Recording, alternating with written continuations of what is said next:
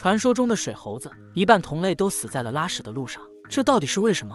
在我国民间传说中，有一种名为水猴子的特殊生物，据说它们长着长长的毛发，还能够在水中来去自如，因此也被称为水鬼，让人们十分恐惧，并且家里的老人常说，一旦在水边遇到了这种动物，就会被直接拖入水中，甚至因此失去生命。这种动物在人们的口中被形容的充满了神秘色彩。那么在自然界中，是否真的存在着这种生物呢？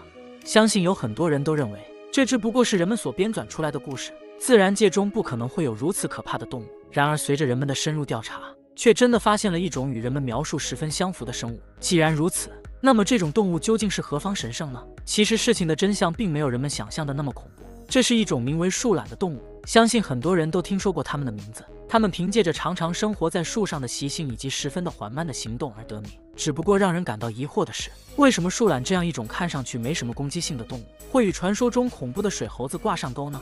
有很多人不知道的是，树懒其实拥有着在水中行动的能力，并且它们的身上生长着很多绿色的藻类植物，所以一旦从水中爬出，就会看上去十分恐怖，并且曾有人声称自己拍到了水猴子的真面目。经过专家鉴定之后，才发现所谓的水猴子就是我们所说的树懒。这样看来，树懒的长相却是与人们对水猴子的描述十分相似。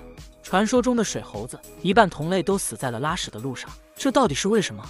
众所周知，树懒最大的特点就是比较懒惰。它们常常秉持着能不动就不动的原则，很少进行比较激烈的行动。然而，让人没想到的是，它们这种独特的生存方式，导致将近一半的同类死在了拉屎的途中，实在是令人震惊。那么，导致水猴子死亡的根本原因究竟是什么呢？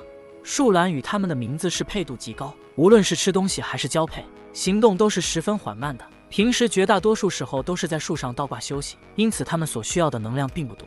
每天只需要摄入六十克左右的树叶，就能够满足一天的能量所需。但是有很多人想不到的是，正是这样一种懒到极致的动物，却会为了拉屎而前往很远的地方。那么在这个过程中会消耗大量的能量也在所不惜。只不过由于它们的行动速度缓慢，每分钟只能移动两米左右，所以要想到达排泄的地方，就需要爬行很长的时间。由于树懒在陆地上的行动缓慢，又找不到隐蔽的地方，所以很容易就会被天敌盯上。一旦受到攻击，它们也无法及时做出反应，因此就会失去生命。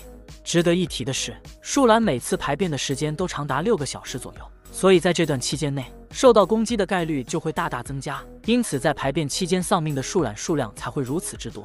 为何树懒的移动速度这么慢，它们还要费尽心思的去别的地方排泄呢？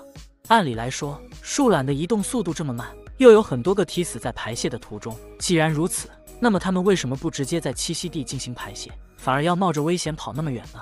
事实上，由于树懒的特性，它们必须寻找一个足够隐蔽的栖息地，才能够保证自己的安全。而粪便的气味非常大，很容易就暴露了自己的位置。因此，树懒为了避免其他动物注意到它们的存在，才会选择在其他地方进行排泄。除此之外，在树懒的身上还常常寄生着一种名为树懒蛾的生物。这种动物虽然长期生活在树懒的身上，但是它们繁殖期时是需要重新回到地面上的。因此，树懒在前去排泄的时候，就能够顺便将其带回地面。只不过令人感到奇怪的是，树懒的行动速度十分缓慢，它们为何没有被大自然所淘汰呢？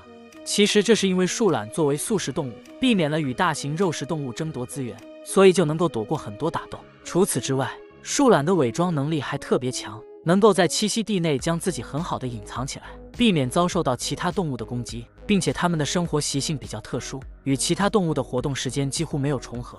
所以，这种与世无争的生活方式，才让它们安全的生活在自然界中。本期视频到这里就结束了，对此你还有什么想说的吗？欢迎在评论区留言。曲普文新征稿了。